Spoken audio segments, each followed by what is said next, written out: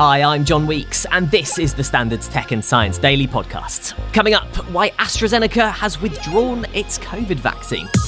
First, though, new research suggests chemicals in flavoured vapes could be highly toxic when heated. Researchers used AI to simulate the effects of heating chemicals found in 180 vape flavours and found that 505 hazardous chemicals are formed as a result of vaping, including 127 which are acutely toxic, meaning they pose significant adverse health effects after immediate or short term exposures, and 153 health hazards. Liquid flavourings in e cigarettes come from the food industry where they are safe. But they're then heated to high temperatures, so that forms vapour, which is then inhaled. The researchers said these flavourings weren't intended to be heated to high temperatures and inhaled, and suggested the number of chemical entities in e liquids should be restricted. A 2022 study published in the British Medical Journal said nicotine vaping is not risk free, and more long term studies of the effects are needed. An 18 month old girl who was born deaf has had her hearing restored as the first patient on a new groundbreaking gene therapy trial. Opal was born with auditory neuropathy, a condition caused by the disruption of nerve impulses travelling from the inner ear to the brain due to a fault in the OTOF gene. Last September, she received an infusion containing the working gene to her right ear, and just four weeks later, her parents noticed her hearing improving when she reacted to the sound of loud clapping. In February this year, 24 weeks after surgery, tests in Cambridge showed Opal could also hear soft sounds like a whisper, and it's thought her hearing could even improve further. Up to 18 youngsters from the UK, Spain, and the US are being recruited to the trial and will be followed up for five years. AstraZeneca has announced it's withdrawing its COVID vaccine from the market due to plummeting demand. In December 2020, the vaccine became the second COVID 19 jab to be approved for use in the UK after being developed by scientists in Oxford. Estimates suggest that the rollout of the jab saved 6.3 million lives around the world. But AstraZeneca said that the rise of new variants in the virus which causes COVID 19 has shifted market demand towards newer vaccines designed to better tackle those variants.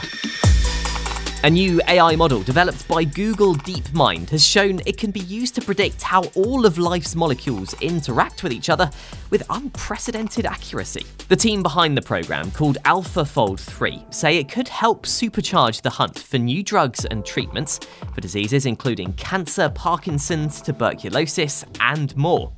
The AI tool is able to accurately predict the structure of proteins, DNA, RNA, and other molecules, how they interact, and how the smallest of changes in these can affect biological functions that can lead to diseases. It can also help scientists predict how these molecules will interact with potential treatments, such as antibodies and drugs. Sir Demis Hassabis, founder and chief exec of DeepMind, said the program gives researchers a toolset that can increase the speed of the drug discovery process massively and transform our understanding of the biological world. Coming up, has China sent a secret robot to the moon? Stay up to date with the latest tech and science news. Hit follow during the break. Welcome back. A researcher has warned that AI chatbots, known as deadbots, which simulate the language and personalities of dead people, risk distressing loved ones through unwanted digital hauntings.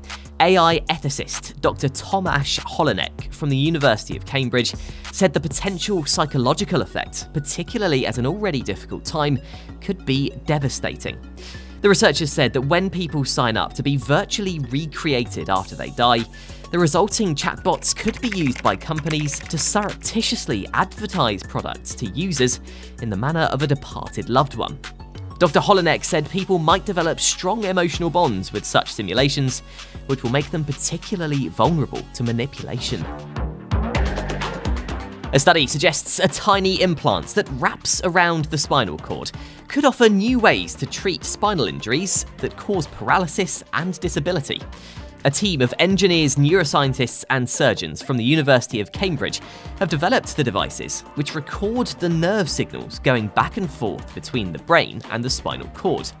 It's hoped the new implants could one day lead to treatments for spinal injuries without the need for brain surgery, which would be far safer for patients.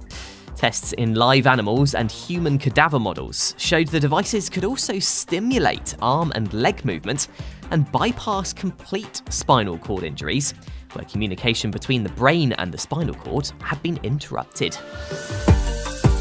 And finally, it looks like China has sent a mystery rover to the moon.